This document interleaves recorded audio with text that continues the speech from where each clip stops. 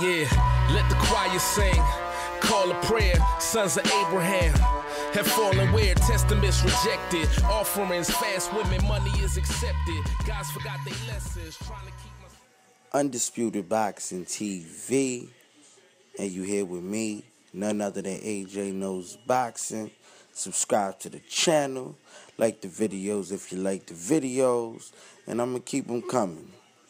And as we all have seen, uh, hopefully we all know, because I'm just watching this shit, Badou Jack has gotten a majority decision over Anthony Dirrell.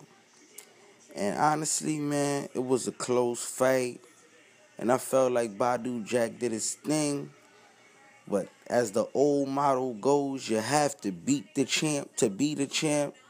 And this fight was way too close for for to for to you know go majority decision in the way of Badou Jack. I felt like he fought good.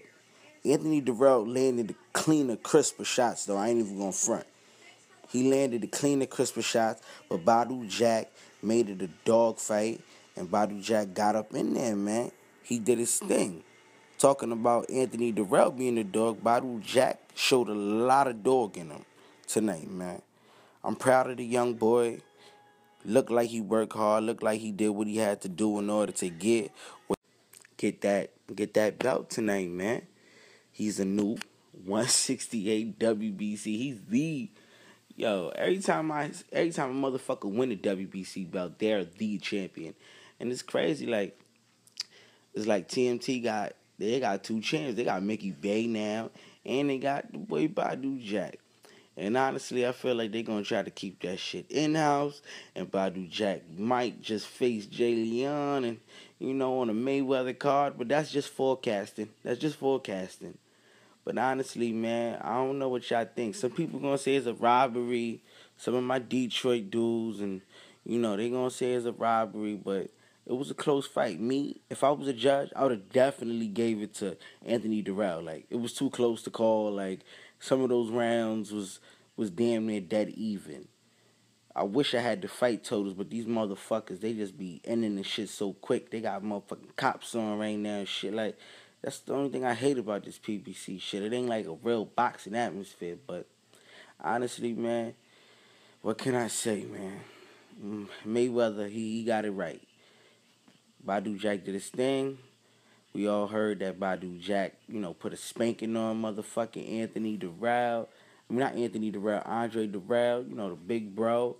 And, you know, they had he had their number, and he got the fucking belt tonight, man. Honestly, I want to see Badou Jack versus some some credible opponents.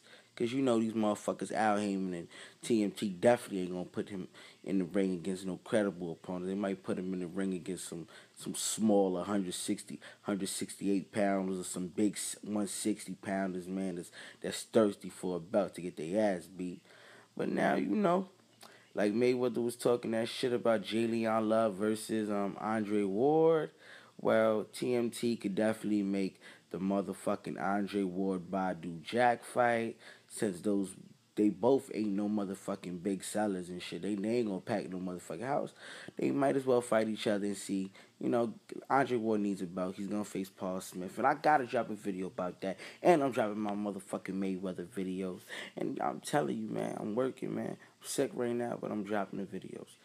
Badou Jack, new WBC 168 pound champion, beats um beats my boy Anthony Dirrell in a majority decision. One judge had a 114, 114 even. Second judge had a 116, 112 to Badou. And the next judge had a 115, 113 to motherfucking Badou. Holla at me. Subscribe to the channel, man.